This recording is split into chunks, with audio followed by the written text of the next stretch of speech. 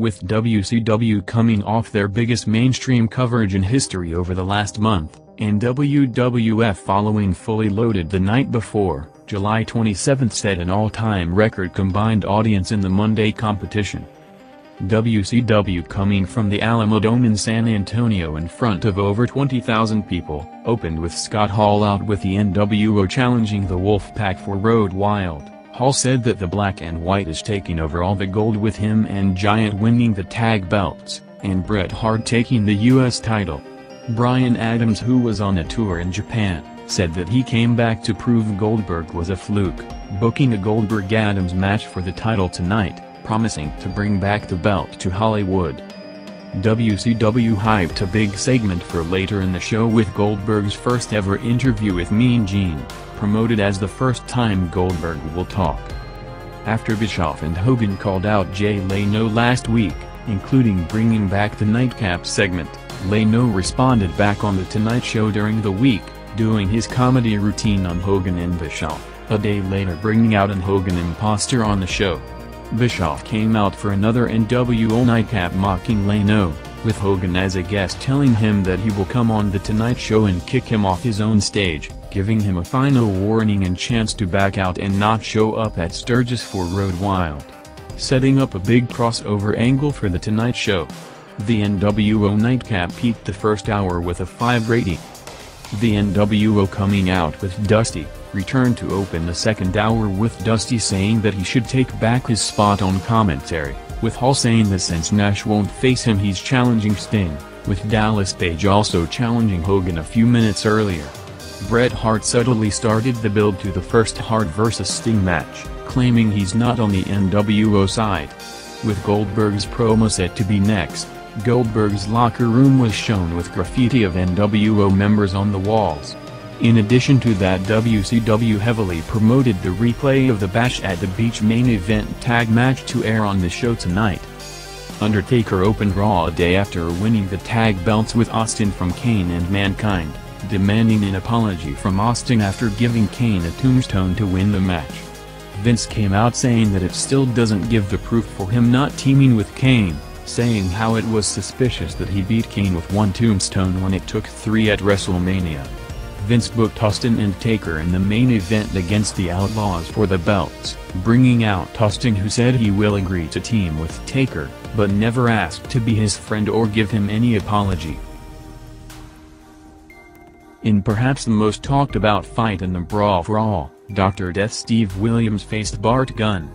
The rumor was that JR was pushing for Williams to work a pay-per-view match with Steve Austin, but there was never a clear plan for that according to creative heads, and the timeline and programs in the summer and fall of 98 made it impossible for that to headline a big show. Williams a four-time All-American wrestler with strong reputation was one of the heavy favorites to win the tournament. Gunner recalls nobody giving him a chance from the locker room to the office, coming in as a clear underdog despite previously winning shoot tough man competitions. The first round saw Williams taking a close round with a takedown. The second round saw Gunn taking down Williams in a big surprise with Jim Ross, a close friend of Williams almost speechless on commentary.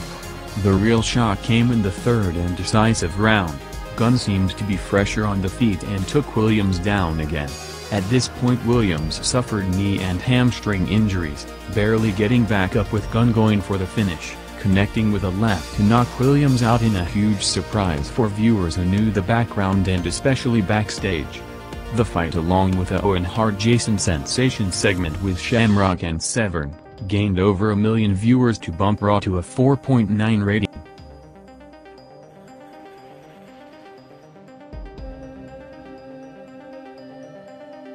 The strategy of airing the Hogan and Rodman vs Page and Malone tag match from the Bash proved to be a big success.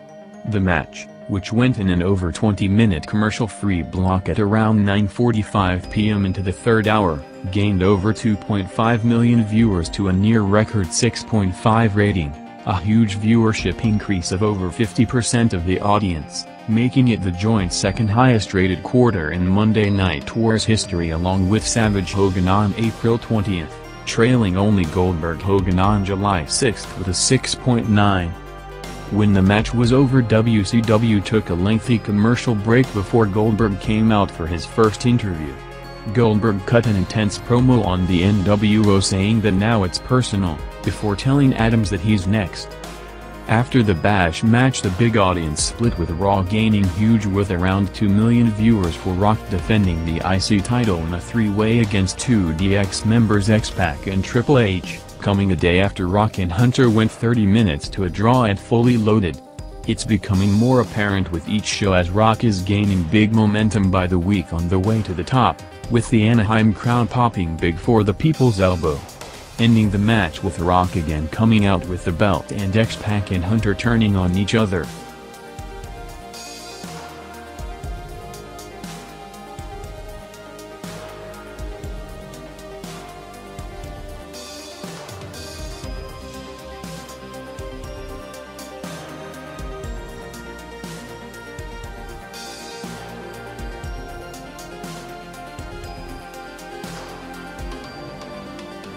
Yamaguchi-san challenged Val Venis to a match next Monday, threatening to chop him up in a lead-up to a memorable angle set for next week. With the company also hyping the premiere show of Sunday Night Heat on August 2nd. Earlier in the show Chris Jericho and Dean Malenko faced in a match promoted as Malenko's last chance against Jericho as a blow-off matched months of a personal program between them. Scott Steiner and Buff Bagwell showing good chemistry in their segments started their run as a team now that Bagwell returned, a run that will go well into the next year. Sting vs Scott Hall saw Bret Hart again coming to the ring during Sting's match claiming to help him, with Sting attacking him to bring Hollywood members to the ring, Nash ran in to make the save going after Hall. Goldberg beat Brian Adams to retain the title, now taking the streak to 121 wins.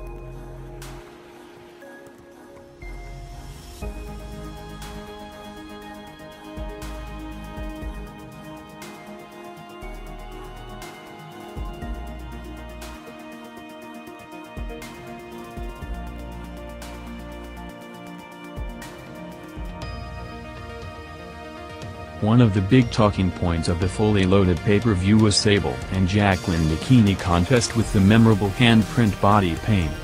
The company then censored the footage, promoting the pay-per-view encore with the Sable reveal as one of the big attractions to order or re-watch the show. Raw hyped the follow-up segment with Jerry Lawler giving the trophy to the winner, with Sable hyping another bikini, targeting a big rating for the reveal segment.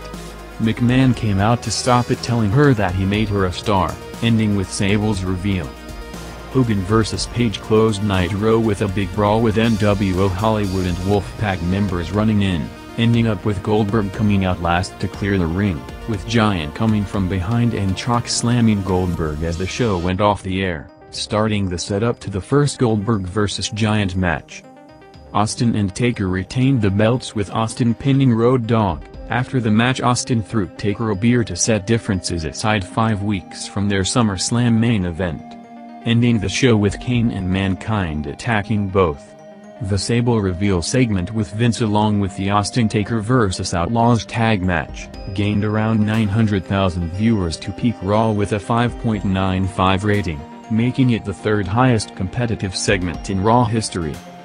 Raw won the overall rating with a 4.8 to a 4.7 but that was because of WCW's unopposed hour. During the head-to-head -head two hours, WCW won with close margin of 4.79 to Raw's 4.78. With the combined audience of 9.6 rating breaking the record set on April 20.